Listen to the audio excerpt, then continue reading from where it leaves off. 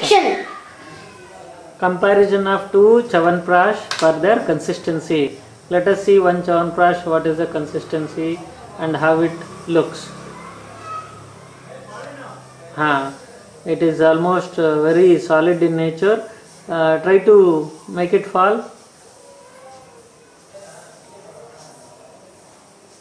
Hmm, so it is not falling. So it is very thick in nature. That shows water is very less in the container. Okay, drop it. Go to the next.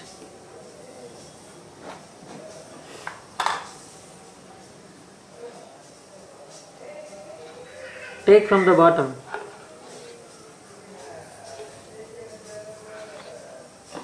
It is very small quantity. Hmm. Hmm.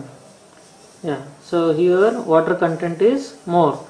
So for every 100 gram, let's say if you if the water content uh, is uh, more, for example 10% is more, then the amount what you are paying is for the water and not for the content. I hope you got the point. Thank you.